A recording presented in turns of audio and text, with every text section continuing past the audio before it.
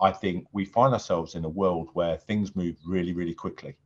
Uh, and I think the the tried and tested methods of reaching out, engaging with communities, monitoring tensions within communities, I think you have to overlay that now with a world that is far more connected uh, digitally, uh, and things can trigger and spark a reaction far, far quicker than perhaps historically. So I guess where where do I think we will be going? We'll always be committed to reaching out to communities. I mean that I think the one day that the policing doesn't want to reach out and understand communities is the day that I'm not in it, uh, because certainly for me it all starts with us being legitimate and being connected with the communities that we serve.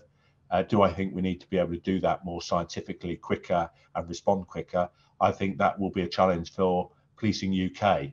And I think because of the diverse nature of Leicester, I think we will probably be, uh, as we evolve that, we come really uh, almost like a pioneer as to what local policing needs to be. We'll be sharing that with our with our colleagues elsewhere. The big problem is we have social media, which means that myths and lies go halfway around the world before the truth has got a chance to get its boots on.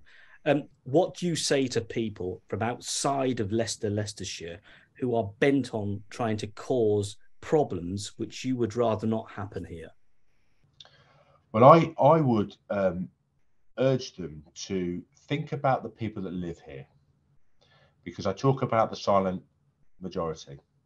That silent majority, as a consequence of people doing things um, on social media to fuel anxiety has uh, elongated the situation. And the people that live here, the businesses that, that thrive here, are all being impacted upon as a consequence of, of their actions. So the first thing is, I would say, uh, please stop doing it uh, because it's not helpful.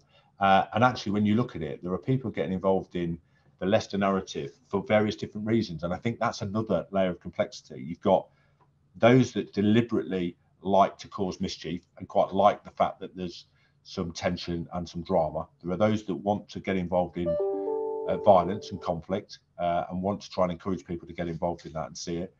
I think there are those that that see the political capital potentially in that, uh, and that's the small p locally, and then the, the big P uh, uh, nationally. But I also think there's people internationally that have got involved in this and talking about Leicester as if they're an expert, yet the, the, I, I, question whether they've ever actually been here.